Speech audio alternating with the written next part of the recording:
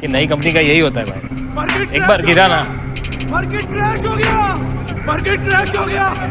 Market crash हो गया। Market